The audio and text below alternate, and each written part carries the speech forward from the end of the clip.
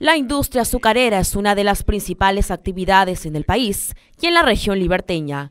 No obstante, algunos de sus procesos son altamente nocivos para el medio ambiente, generando químicos producto de la combustión formados de la quema de caña de azúcar, los cuales son peligrosos para el planeta, para la salud y hasta la seguridad de las personas.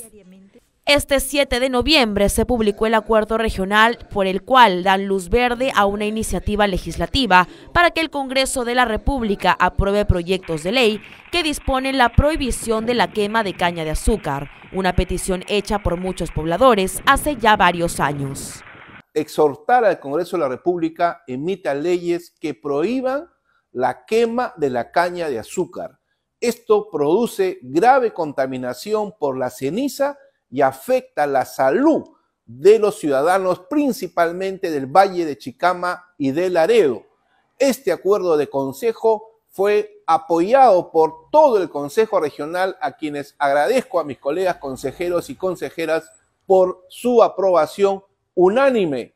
Esto tiene que ser una realidad. El Congreso debe emitir una ley que prohíba la quema de la caña de azúcar. La quema de la caña de azúcar permite la reducción significativa de la cantidad de material vegetal presente y adherido a los tallos, para así facilitar el trabajo de los cortadores y el traslado de la materia prima cosechada al trapiche.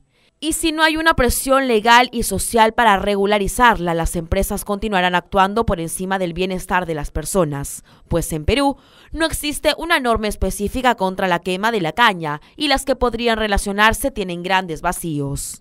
Lastimosamente, por ley, el Gobierno Regional de la Libertad y el Consejo Regional no tienen facultades para regular esta actividad económica.